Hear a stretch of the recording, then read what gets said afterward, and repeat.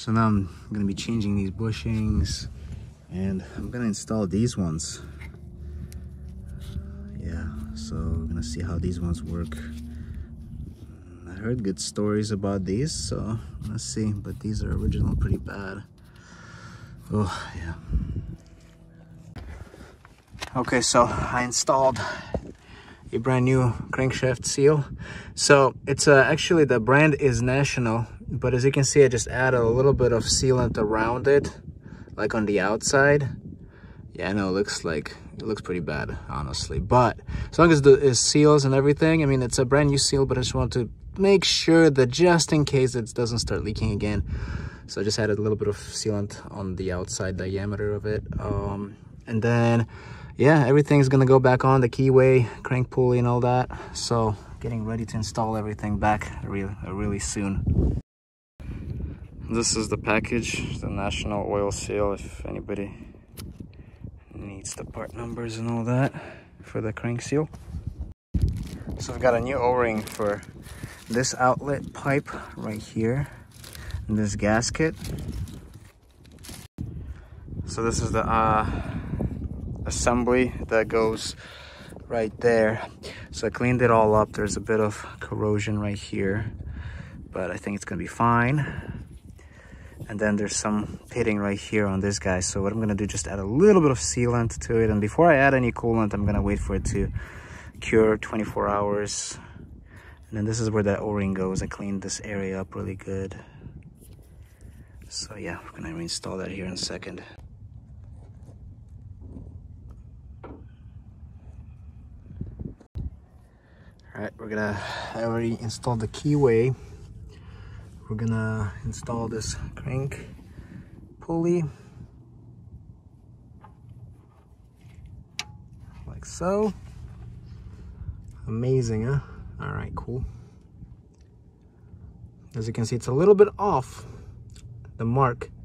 That is because once I released the tension on it, both camshaft and crankshaft went back just slightly. So now when I put the belt on, should, they should go back to normal, to the OT mark. All right, so here's the situation with the timing belt. I've got a brand new belt right here, Dayco. And what I do with the timing belts, I always calculate how many teeth there are on them. And these, each belt has 107 teeth, which is normal. That's how it's supposed to be. And then on the old belt, I actually made a mark right here, which is on the crankshaft, and down there on the camshaft. And then I transferred those marks to the new belt. Also calculate, calculated the distance from here to the bottom mark. It's basically gonna go like this. So this mark is gonna line up with this mark. The bottom one's gonna line up with the bottom mark on the crankshaft pulley. And there's a there's a mark on the bottom that I made right there. Okay.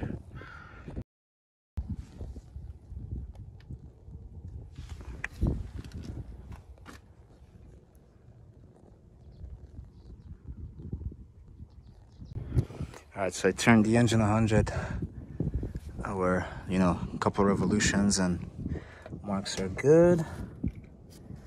That mark and then this mark. So that's good. All right everything is reinstalled as far as timing belt all tightened up and i just reinstalled the crank pulley for now.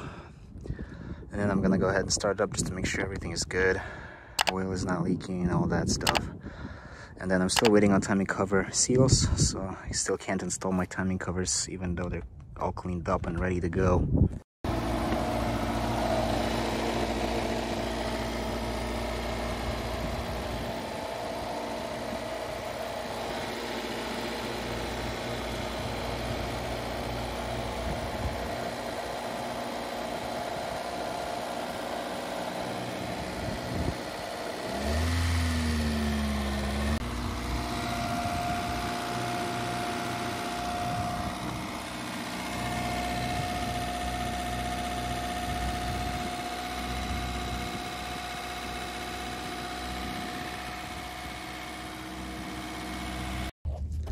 So this is the knuckle I'll be working with to replace uh, rotor on it.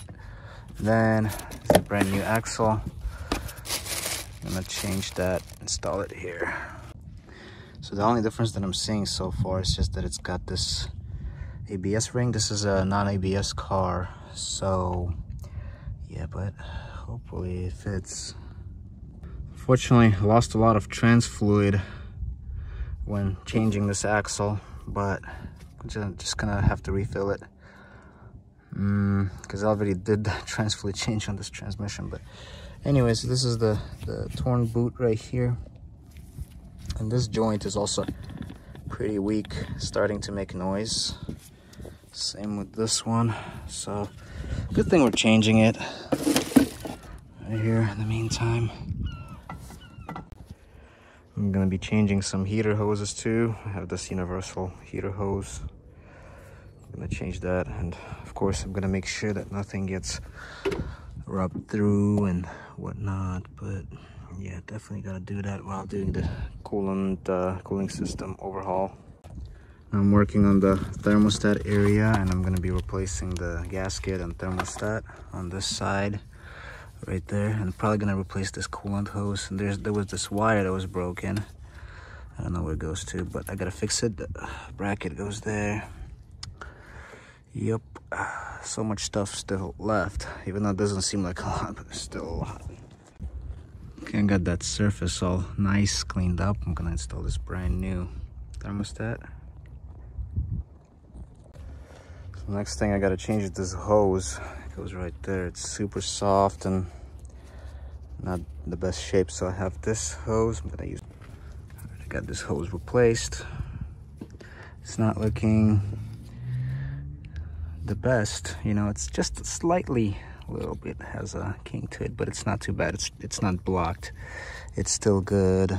And this is for the heater hose. Um, this is for the heater system so like the coolant system so it's gonna be all fine and uh, yeah it's a lot better than that uh, other hose that's swollen up yep getting ready to install the thermostat back in the seal and housing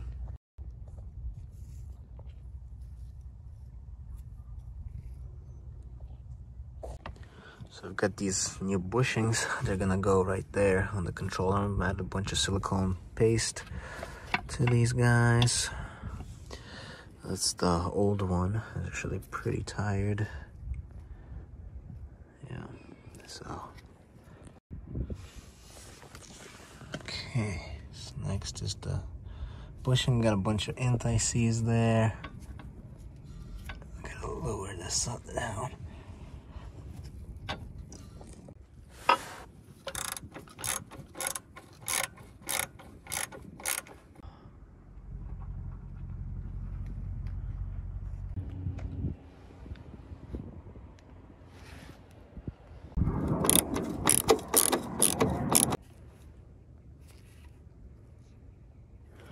New coolant hose gonna go on here and shortly.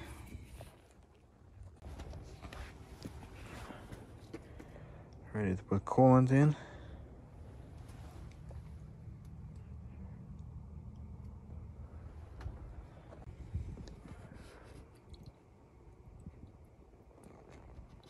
I installed new uh, hatchback or trunk shocks. So right now everything is holding to have, I don't have to use vice grips anymore. It's cool. I've got new seals for the timing cover, upper and lower. I'm gonna start installing those.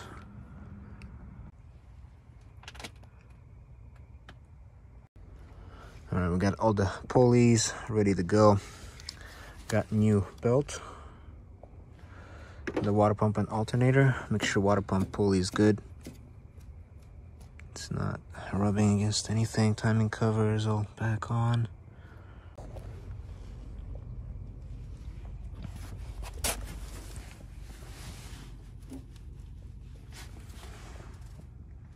All right, so this cover is back on. There was two bolts holding it.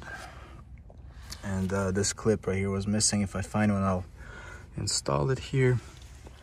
Everything else looks fine. So control arms are nice and new, so I'm gonna add fluid film to them so they don't, I'm not gonna add fluid film to the bushings, just uh, the metal portion. That way it stays nicely preserved, doesn't rust.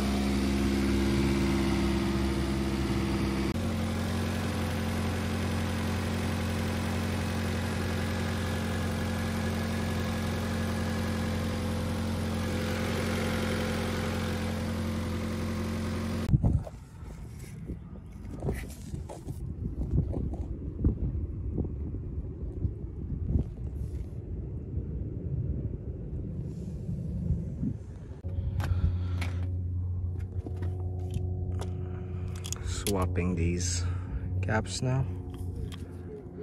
Yep. So got the Bosch cap right here. I'm gonna install that and change this rotor as well.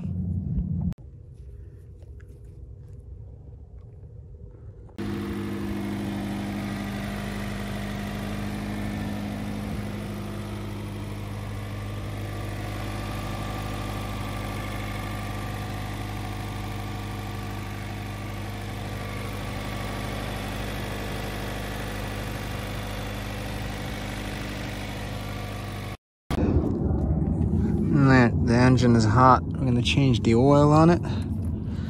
So let's start draining it right there to the pan. Gonna have some nice clean oil for it. Like so. Okay. Got new filter for it. Gonna install that bad boy.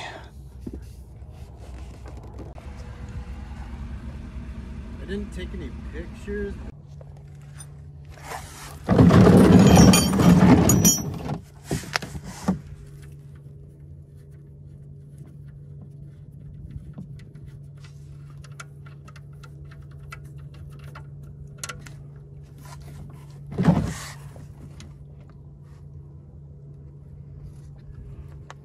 Let.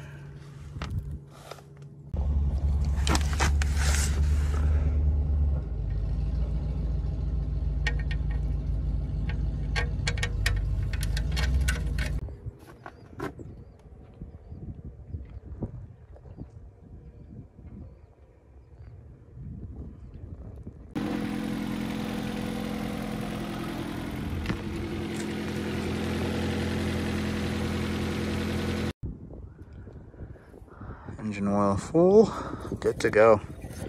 No leaks. Uh, the car is doing amazing. Obviously needs an alignment. I just started driving it, but uh, yeah, feels really good.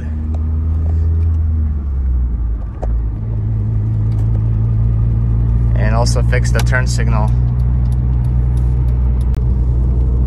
It's honestly a fun little car. So yeah, no noises coming from the front suspension. feel like the rear suspension might need some work in the future, but other than that, she's doing pretty good. Just did a quick alignment on this machine right here with the string, the old school way, and then uh, Grandpa's working right there too. W203 right here. But uh, yeah, I just gotta open this up. Uh, check the air filter because I haven't done it before. And yeah, we're almost done with this uh, machine actually. Just got to put this lens back together. I was able to install this bulb and fix it. So now it has a turn signal. So that's good.